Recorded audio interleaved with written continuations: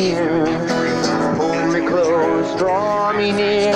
reveal my pain, tell my fears. Because if don't lay these artifacts, nobody else. Coming out against it.